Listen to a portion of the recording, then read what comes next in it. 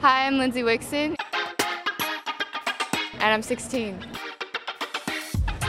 I think I have my dad's eyebrows. I have a mixture of my mom and dad's nose, my dad's face shape, and I have his dimples and his his uh, gap.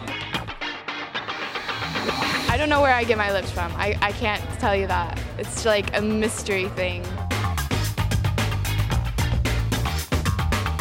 I was found in Wichita, Kansas, where I live, um, by a scout. Last summer, I went to LA. I shot for Italian Vogue with Steven Meisel. A week and a half later, flew to New York from LA.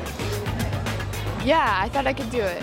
People kept telling me I could, I could model. You could be a model, like just out of the blue. Like I'd be in like the store, like Walmart or Kmart or what. You know, they don't have like Macy's in Kansas, but anyway, it was just like random people just approaching me.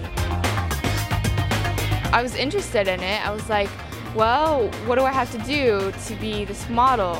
What do I have to accomplish? And I just watched the fashion shows and I learned the designers and the photographers that all like the supermodels were working with and I was like, okay, I know who I need to work with. I know what I need to do and I was just persistent.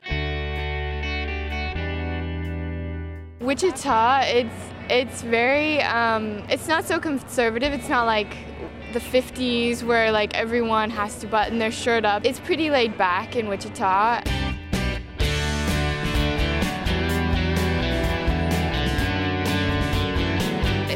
Suburbs, but it's not the countryside. It's not a farm. I haven't milked a cow every day. I haven't like shoveled the manure, you know.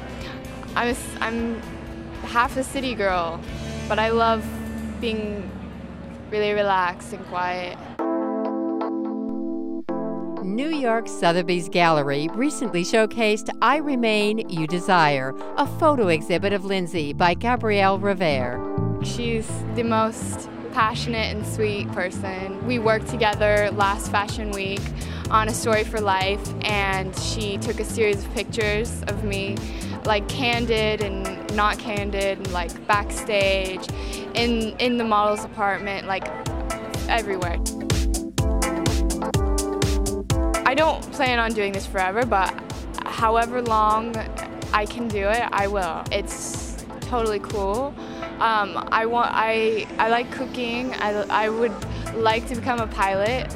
Maybe acting. Um, maybe something else. But not just modeling. I have other things in the works.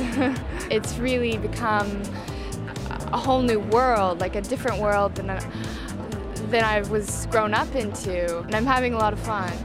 I've taken my vitamins, and. Um, I'm prepared.